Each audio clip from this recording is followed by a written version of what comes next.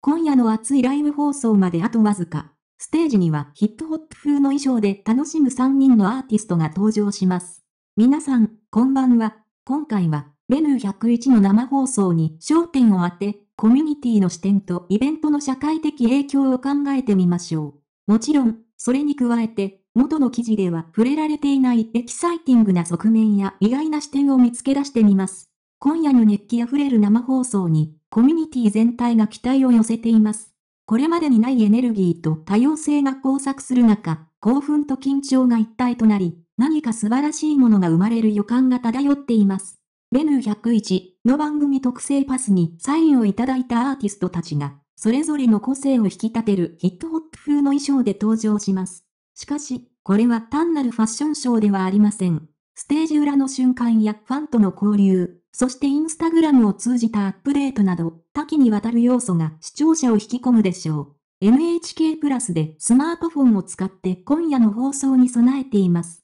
しかし、もっと重要なのは、彼らが待ちわびているこの瞬間を迎える準備が整ったことです。緊張と期待が入り混じり、今日のすべてが順調に進むことを心から願っています。ステージにはヒップホップ風の衣装で楽しむ3人のアーティストが登場します。この瞬間には、ファンたちの期待が最高潮に達し、会場は一体となります。しかしここで私たちは番組を通して多様性と豊かさを体現する衣装に着目します。それが彼らの個性を引き立て、視聴者に新たな興奮をもたらすのです。ファンたちのコメントからは、ショータイムに対する期待と緊張が伝わってきますね。しかし、それだけではありません。衣装に込められた意味やアーティストたちの表情から読み取れる感情にも注目が必要です。ファン同士の交流が生まれる場としてのライブ放送は、コミュニティをより一体感のあるものにしています。衣装に関するファンの興奮も非常に興味深いところです。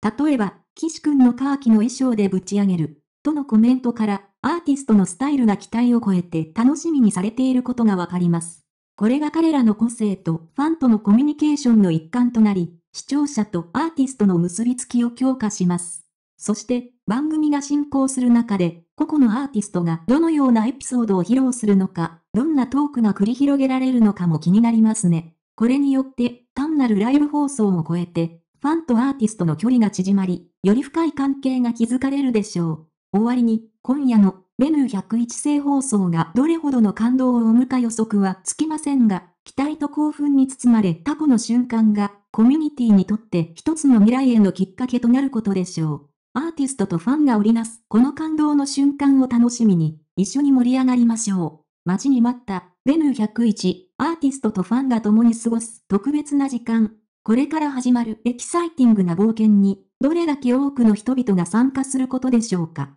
ライブ放送を楽しみに、新たなエンターテイメントの扉を開けましょう。